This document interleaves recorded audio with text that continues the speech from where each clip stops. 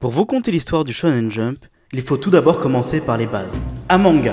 D'où vient l'origine du mot manga? Tout d'abord, sachez que manga est un mot composé de deux kanji. Man, qui signifie divertissant ou exagéré, et ga, qui se traduit par dessin ou image. Le nom peut donc se définir par esquisse rapide ou dessin grotesque, ou voire même caricature.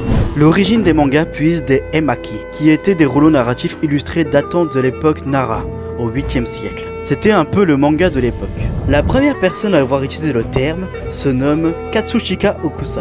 Né en 1760, un peintre connu notamment pour son œuvre nommée la grande vague de Kanagawa. Il désignait ses carnets de croquis ainsi car ils étaient selon lui le terme le plus adéquat pour exprimer la notion de dessin pris sur le vif. Ces recueils d'illustrations nommés Okusai Manga comprenaient des scènes de la vie quotidienne ainsi que des paysages des éléments naturels, des représentations de la mythologie et des esprits japonais. Ces œuvres connurent un véritable succès au Japon comme à l'étranger.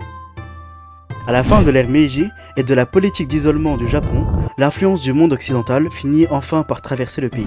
C'est le début de la modernisation japonaise. C'est dans la même période que la presse ainsi que des BD anglaises furent commercialisées au Japon. Monsieur Yasushi Kitazawa, plus connu sous le pseudonyme de Rakuten Kitazawa, à la base peintre, y voit une nouvelle forme d'expression et commence à dessiner des cartoons avec plusieurs contributeurs anglais. Plus tard, en 1905, en adoptant totalement le style, il créa son premier magazine fait totalement en couleur, Tokyo Punch. Le premier véritable manga, utilisé sous son terme moderne, est une BD humoristique publiée sur le journal Shiji Shimpo, dont il est l'auteur. C'est le premier à réutiliser le terme de manga après Okusai. D'autre part, l'artiste se définit lui-même comme un mangaka. Sekinomeno, Tokyo, 1925.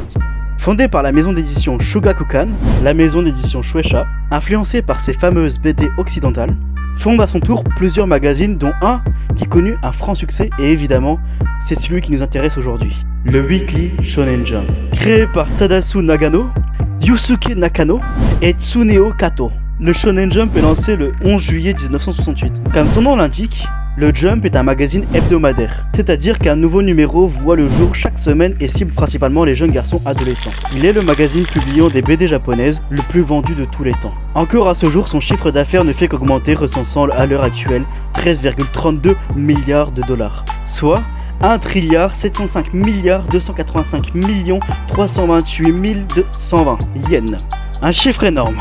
Avec la popularité d'Astro Boy d'Osamu Tezuka, sorti un peu avant la création du Jump et ayant des millions de ventes à son compteur, le Jump fut l'un des premiers magazines aux histoires dit fleuves, ce qui implique des histoires longues, là où la plupart des histoires étaient courtes.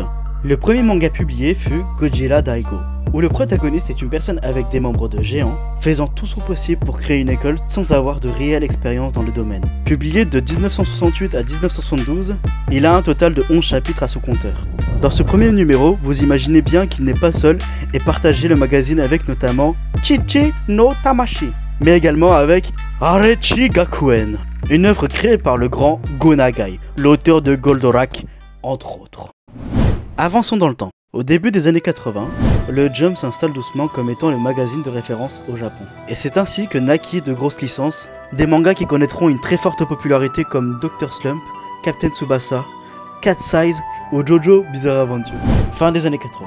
Le Jump connut une période creuse, mais c'est début des années 90 que le nombre de ventes remonte drastiquement, grâce notamment aux œuvres telles que Dragon Ball, Soramu Donku ou encore Yu Hakusho qui eurent un succès sans précédent.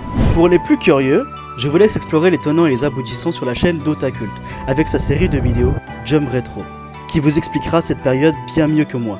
Le lien de sa chaîne est disponible dans la bio. C'est dans les mêmes années qu'en France, le club Dorothée se crée et participe au début de la culture manga. Pas mal de licences furent apportées en France, telles que Kimengumi, Astro Boy ou encore Senseiya, pour ne citer que. Ces animés furent diffusés durant les 10 années d'existence de la chaîne TV. Mais le nom majeur de cette période est bien entendu Dragon Ball, créant une véritable hype autour de l'anime et devenant le symbole majeur du manga dans notre pays. Évidemment, beaucoup d'œuvres y sont diffusées, dont Ataka Yu, Mison Ikuku, Okuto no Ken, City Hunter, Fly ou encore Ranma 1,5, pour ne citer que les plus connus. Il ne diffusait bien évidemment pas que des animés provenant de manga, ayant également au programme des dessins animés provenant des quatre coins du globe, ainsi que des séries TV.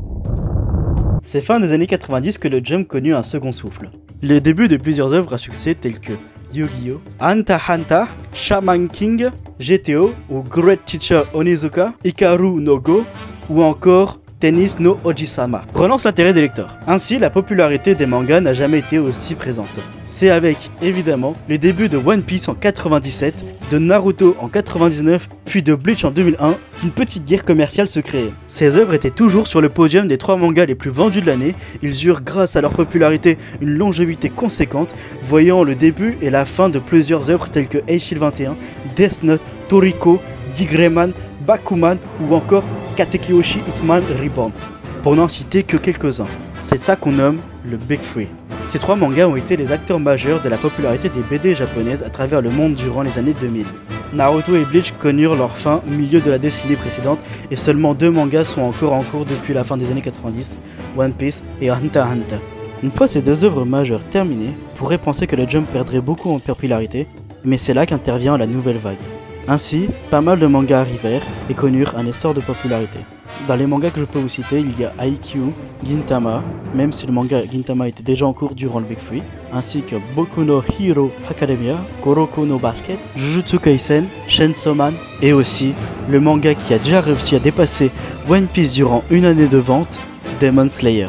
Cependant, la plupart de ces œuvres sont terminées récemment voire même vont bientôt se terminer. C'est ainsi qu'arrive la nouvelle génération. Des nouveaux mangas qui sont trop récents pour qu'on puisse dire que ce seront des monuments. Cependant, on peut déjà commencer à noter ceux qui ont un talent.